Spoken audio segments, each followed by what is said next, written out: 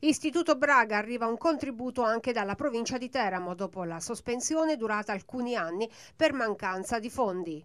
Se ne parlerà venerdì durante il Consiglio provinciale. Stiamo predisponendo il bilancio di previsione eh, grazie al lavoro che abbiamo compiuto, grazie diciamo, a una serie di interventi e anche all'individuazione di somme che a nostro avviso ci sono dovute da parte della Regione Abruzzo. Eh, abbiamo qualche piccolo margine per intervenire anche su iniziative di tipo culturale, associazioni che per noi sono molto importanti. Tra queste sicuramente il Braga per il quale stiamo cercando di vedere un eh, contributo che unitamente alla messa a disposizione di una sede sulla quale stiamo ancora lavorando perché naturalmente c'è da convincere qualche dirigente scolastico dovrebbe avvicinarsi sostanzialmente all'onere che in questo momento sopporta il Comune di Teramo.